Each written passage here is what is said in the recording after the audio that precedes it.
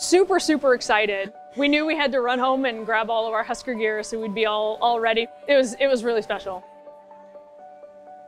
Today was a party. It was so much fun. We got to come down here, hang out with a bunch of really cool kids, play games. We colored, we played Kahoot. Um, Children's does it better than anybody out there. They know how to take care of these kids, comfort these kids. And so for us to be able to come in and be a part of that, it means the world to me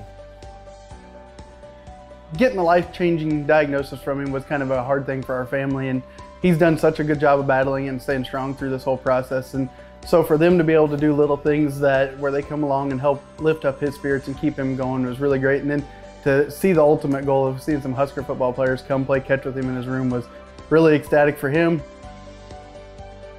It, it makes me feel like, you know, there's somebody that cares about these kids as much as the parents do um, and making sure they have the absolute best and the best experience, the best care, the best of everything here. So, um, you know, as a parent, it feels really good. It feels like we're in, in the best place that we need to be right now.